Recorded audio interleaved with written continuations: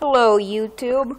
Um, I haven't posted in a while. I deleted all my videos. I thought I was just going to use it, but right now I'm going to start making things. Just easy things. This is my first episode of it. And uh, this time I'm making a water bottle cannon. Um, I just decided to make this because, I don't know. And, um, yeah, so here's how you make it. So what you want to do first is you want to just get average water. I already made one, so you're wait wait. Okay, what you get is just this water bottle, right? And then you take the cap, and then you poke a hole in it. Like it has to be big enough to fit like a straw. Now usually I have longer straws, but I used a bendy straw and I just cut off the bendy part.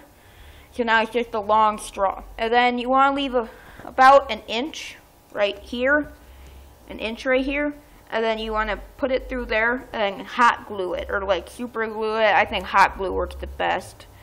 But then what you do after that is you want to take a Q-tip. Now what I did is I just cut it at a diagonal angle so then it's sharp. And this thing can really go through some stuff.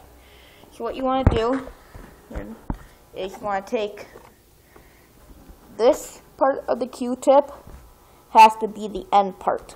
So you take this, you put it through here, just like that. Make sure it's in there good.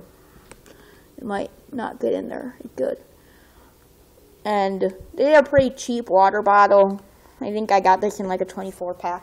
But then what you do after that is you want to take this, put it on this. It's a little harder for me to screw mine in. Just wait. I'm going to screw it in quick. It's a little harder to screw mine in because I accidentally got some hot glue on it. I'm thinking about making just another one, but yeah, it's a little harder to get on.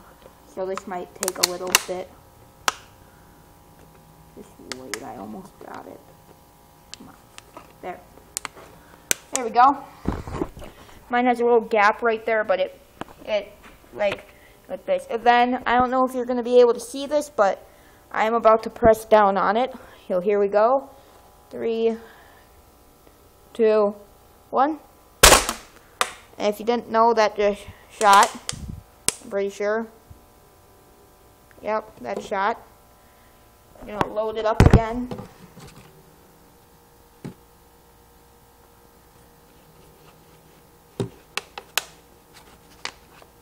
There. Okay, here we go again.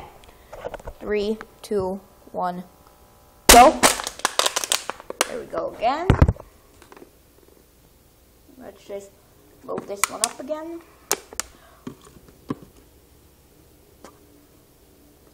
Good. Let's just get this one, in, come on. Okay.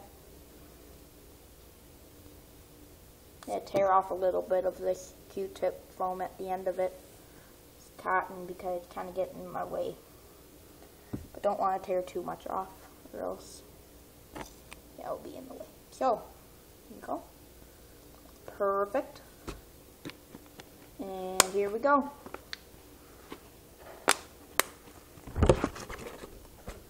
Okay, here we go. Three, two, one. Did you hear that cling? That was that. It went way over there. Very good range. The other ones must have hit that bike tire. Something that doesn't make a cling. But, um, yeah, that's how you make your mini air cannon. So, I will be posting more videos like this. So, make sure to subscribe. And, thanks for watching.